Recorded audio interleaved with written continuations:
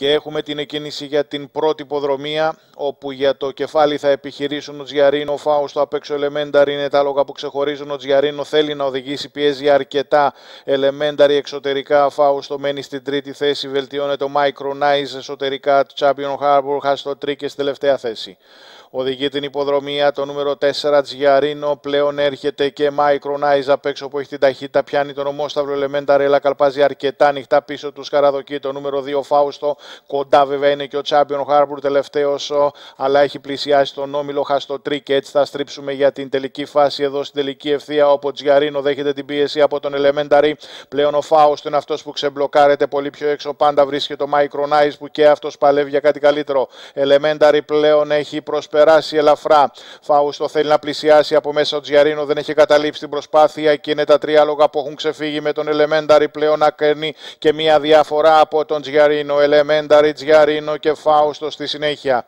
Νούμερο 1 Ελεμένταρη, 4 Τζιαρίνο και στη συνέχεια το 2 Φάουστο. Σε κάποια απόσταση θα μείνουν ο Champion Harbour και μετά Micronize.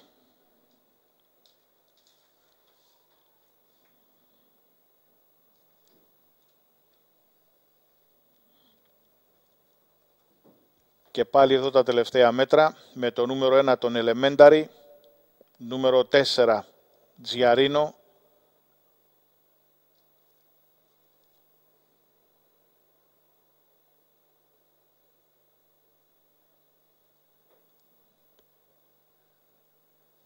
Ο Φάουστο το νούμερο 2 θα μείνει στην τρίτη θέση εδώ.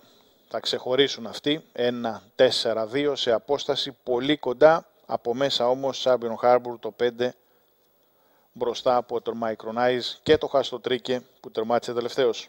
Καλησπέρα και από εμάς. Είναι μαζί μας ο κύριος Κουβαράς. Ο Elementary συνεχίζει να δείχνει ότι είναι σε ιδανική κατάσταση. Έκανε την επίθεσή του στα τελευταία μέτρα στον μέχρι τότε πρωτοπόρο Τζιαρίνο και πρόσθεσε άλλη μια νίκη. Πέμπτη συνολικά. Ναι, όπως τα λέτε, είναι έτσι.